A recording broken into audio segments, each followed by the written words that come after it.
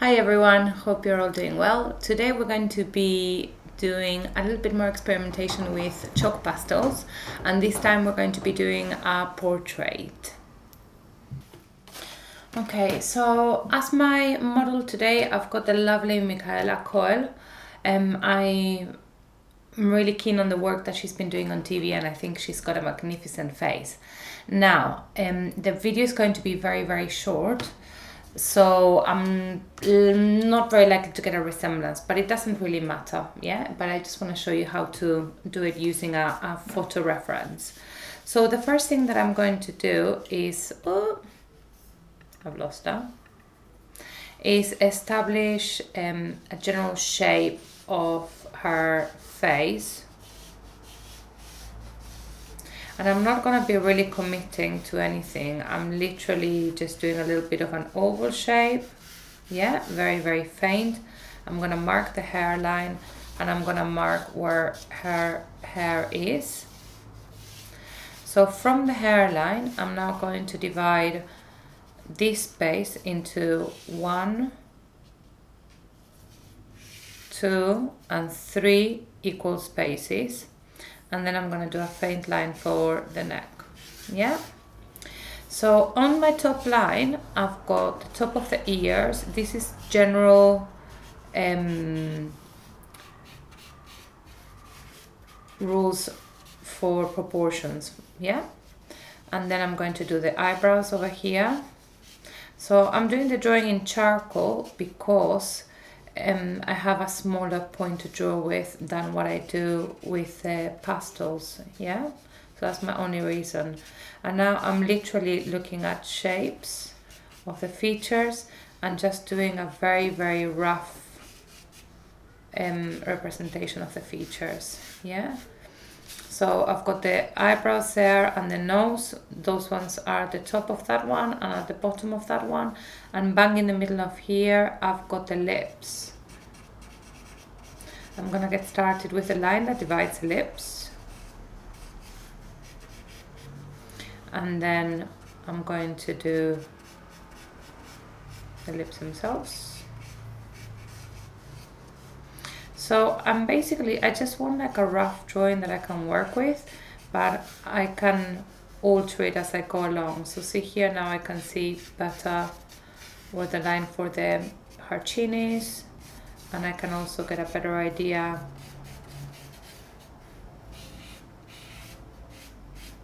It's got amazing cheekbones of things. So now from here I can go on to do the eyes.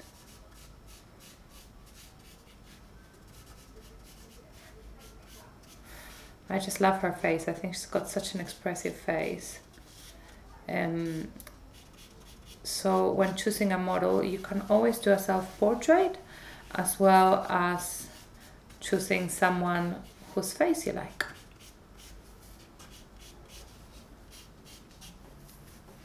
Yeah, so I'm basically to leave this as such for now. I'm to get rid of my guidelines. Yeah, and I more or less got a little bit of it. Yeah, so let me get that eye in there. And let's get a little bit of her hairstyle.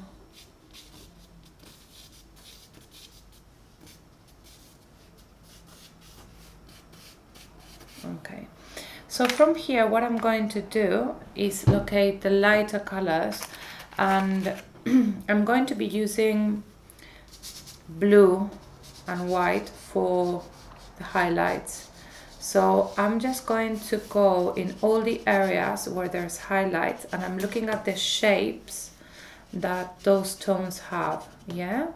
So it's literally looking at the shapes, drawing the contour and then filling it in with a color that you're allocating for light.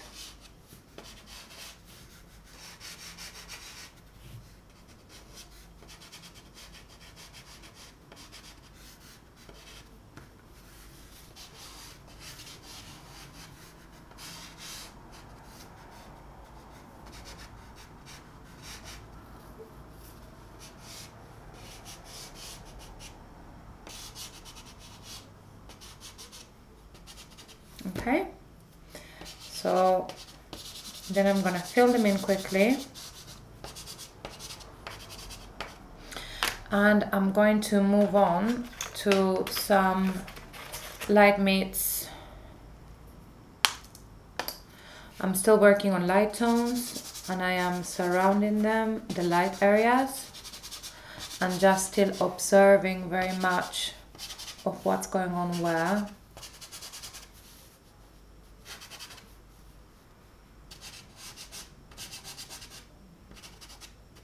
And when I'm looking at the face, I'm trying not to think it's a person. I'm literally just looking at shapes. And I'm starting from the light colors um, onwards.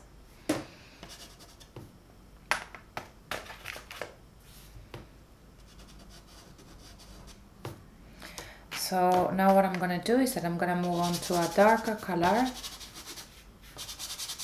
And at the moment I'm using the side technique.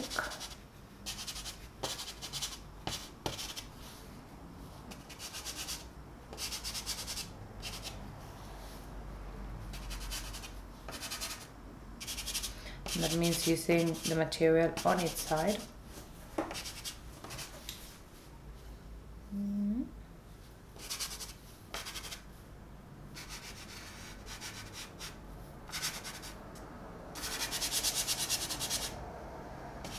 And I'm not dealing with any details. So always when you're living with detail, you leave it right until the end. And now I'm gonna start moving on to a darker tone. I'm just breaking up my my material and I'm going to start very much drawing the contour of the shape of the dark and then filling it in.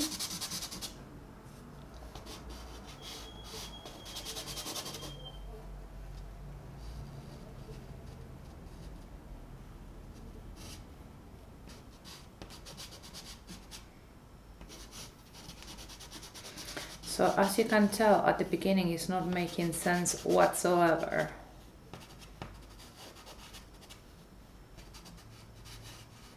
And that's okay. And it's better if you try really hard for it not to make sense and just to be describing shapes. Because if not, you're going to start getting drawn to detail. And if you get drawn to detail too early, you're kind of setting yourself up for failure.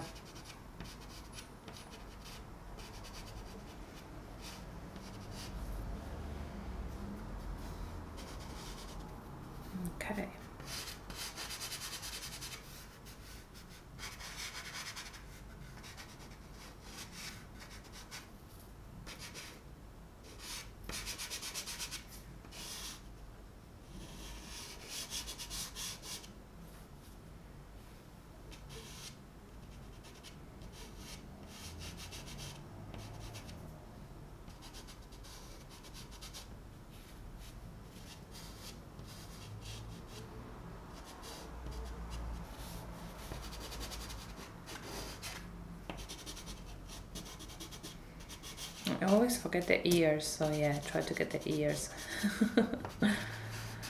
okay, so I'm also gonna put a little bit of dark in here, and then I'm gonna go on in the neck.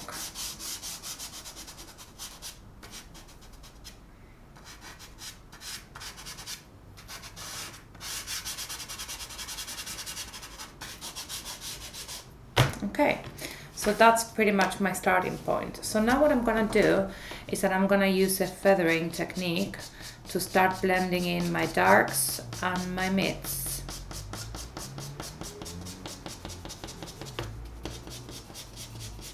So I'm just doing short little strokes to start to blend in things and incorporate them. I'm gonna use different techniques so that you can get a good combination of different techniques onto the one drawing.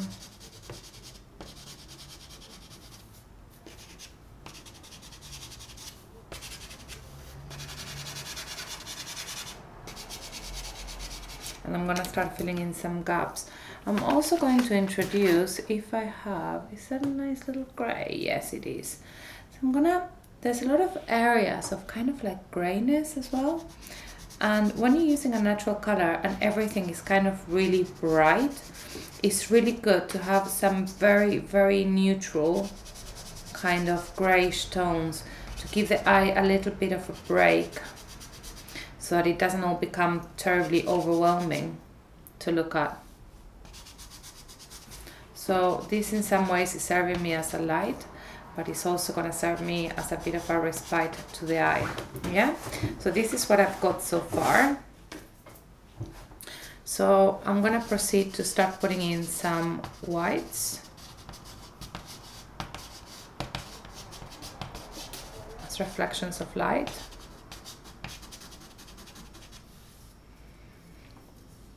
and then I'm going to use a lighter one to blend in, to act as a blender by using it gently on the side and it's gonna blend the different colors, yeah? For a more smooth kind of approach. So I want a combination of techniques where some bits are smooth, some bits are a bit rough, and not everything is exactly the same. Notice how I'm not dealing with the eyes, I am not dealing with the lips just yet. Yeah?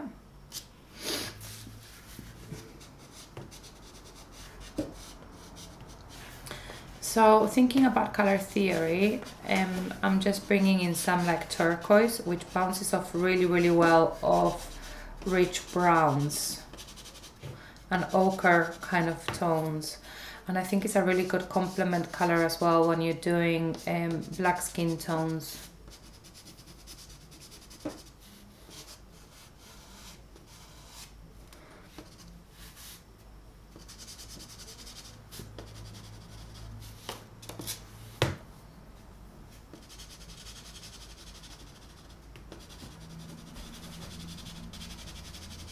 So see, it's very slowly starting to come together.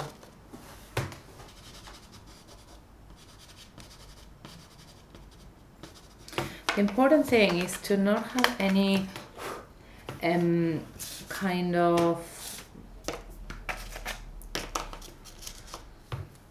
not not really like um, have any expectations of what you're doing if you lower your expectations and just really enjoy the process and the moment you start thinking, oh, I really want to make something good, or I want to make her look good, especially when you're making some somebody who's really beautiful, or perhaps someone who you're emotionally attached to, it becomes quite difficult to observe them in in a realistic way because we have this kind of um, idea of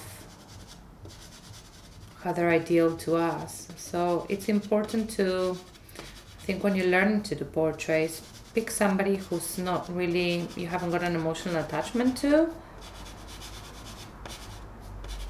And if it's someone beautiful, perhaps not the specific ideals of beauty that they are so constraining.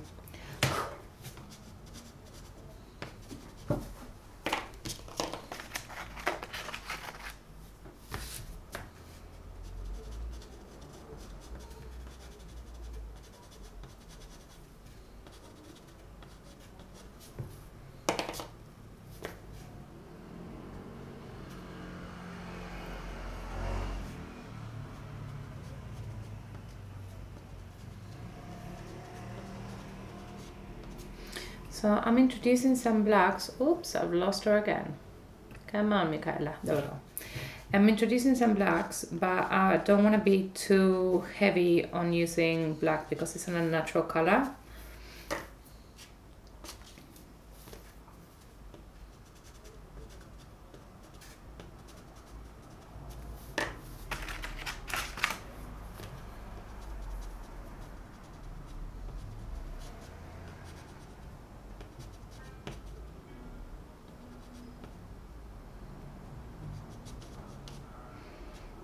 I'm just using a little bit of a dark color to make some corrections and get a little bit of gesture and expression yeah?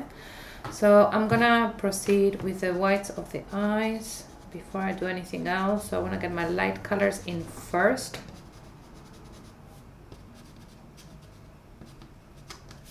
Before I get the dark ones. So I'm also going to be doing that light in the eye up there, that other little highlight there. So before I'm doing anything else, I'm putting in those ones here.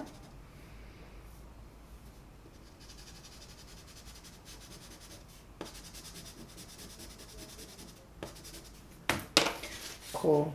So now I'm gonna get the little side of it to try and get some outlines.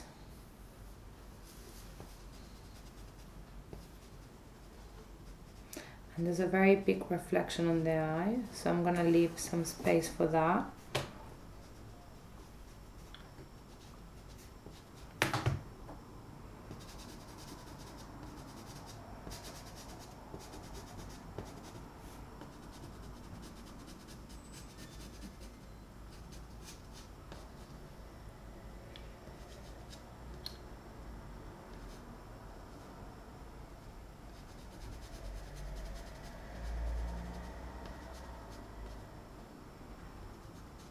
So I'm not To be too descriptive with the black in the in the eyes and not be not put all the information in because it's good as well when you're doing something that is quite gestural for the eye of the viewer to make up what's missing. Yeah.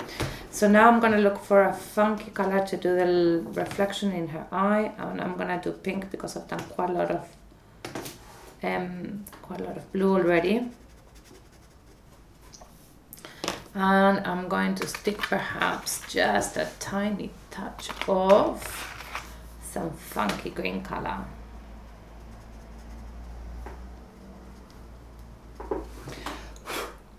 And following that, I'm gonna make some lighter browns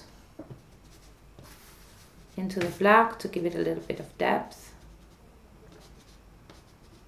Yeah and I'm going to introduce a tiny bit of pink as well in the whites of her eyes. Again for depth yeah? I'm gonna get a little bit of an outline for the fold of her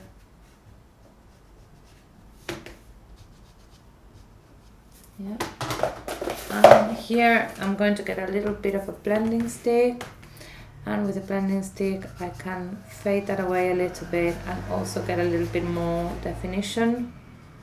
So these ones are really really handy when you're doing detail in pastels. And it's quite difficult to do the detail with the pastel itself.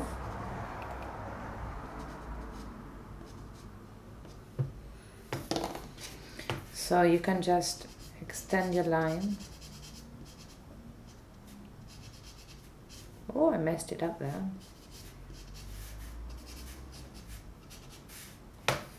Okay.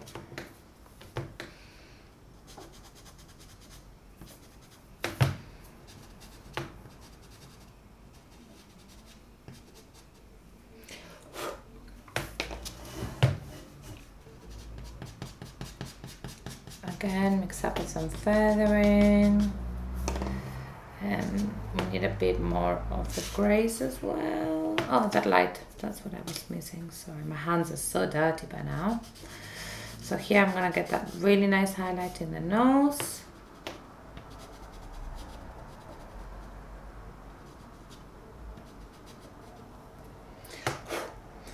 and I'm just looking at it and I've got a bit of a problem in there I think I've got too many colors so I'm just gonna dial that down a little bit.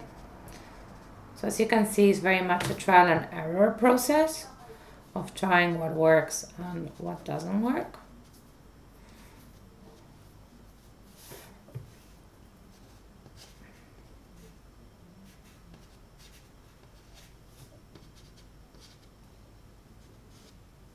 Yeah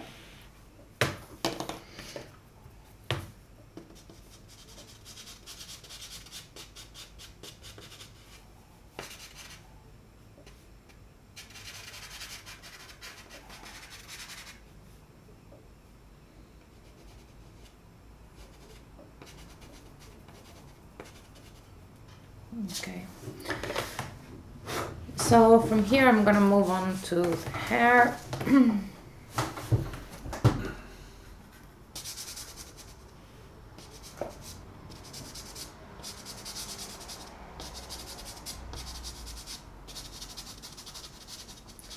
I'm gonna keep some texture here to kind of describe the qualities of afro hair that is very textured.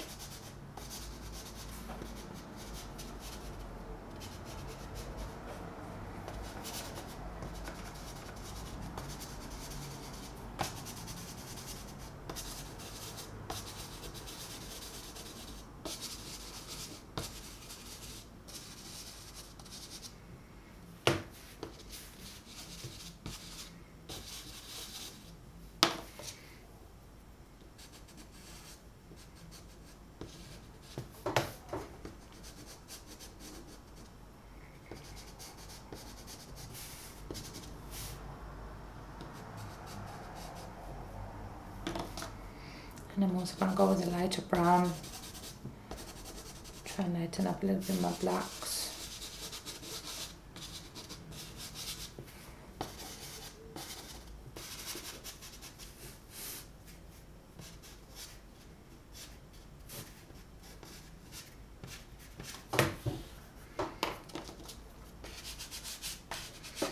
And I'm gonna reinforce some of my darks. I'm bringing a little bit of contrast.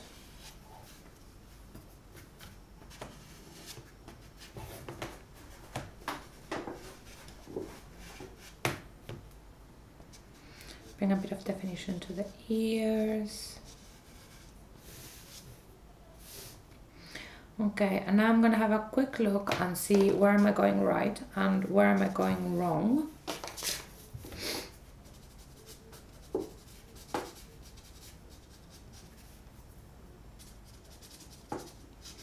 add on a little bit of detail and I think what I'm missing is that I need a bit more darkness around here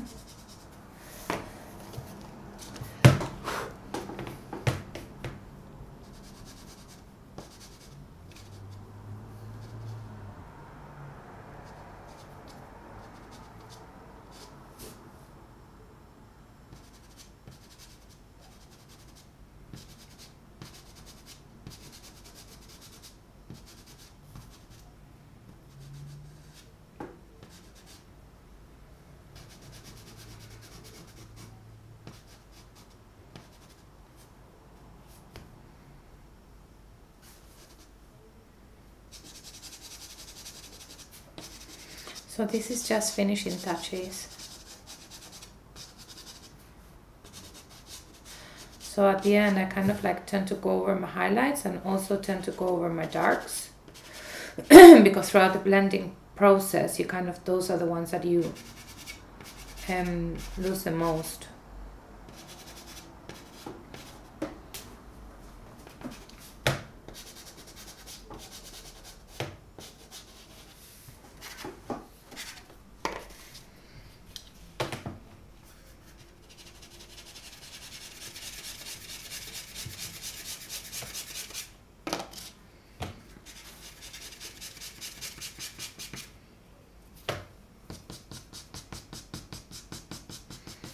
A little bit of variation on mark making.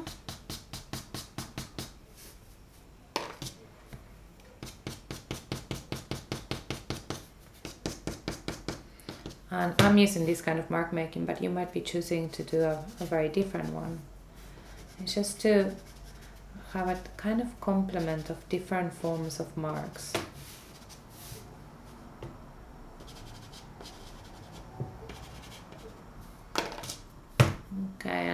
Again with my beautiful turquoise.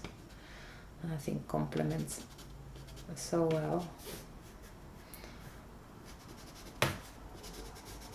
And just go over my highlights. So this is a nice idea of how to use a natural color to do highlights instead of always using white.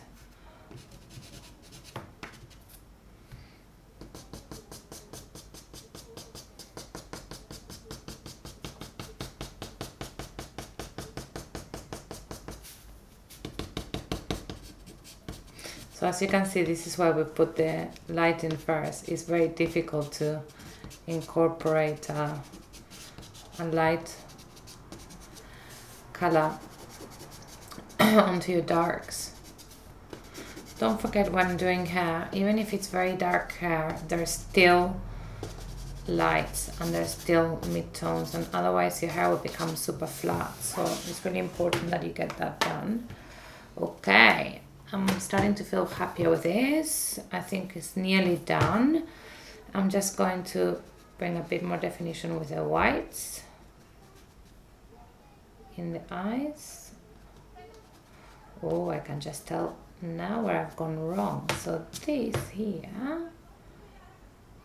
it's down a bit more. Yeah, I got the shape of the eye a little bit wrong. But hey.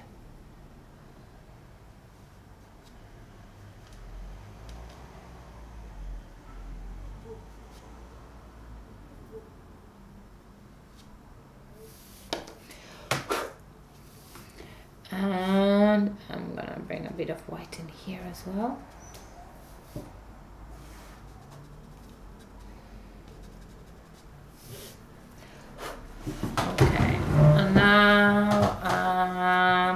Just continue with finishing touches. We're nearly done, guys.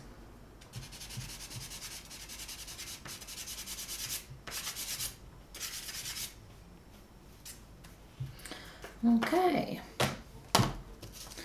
And I'm just gonna complement it by putting a bit of fuchsia in the background. So as you can tell, it's become very dirty. So putting a little bit of a color around it can help things out at the end. See, that's, hold on, I'm just gonna move all of that stuff in there.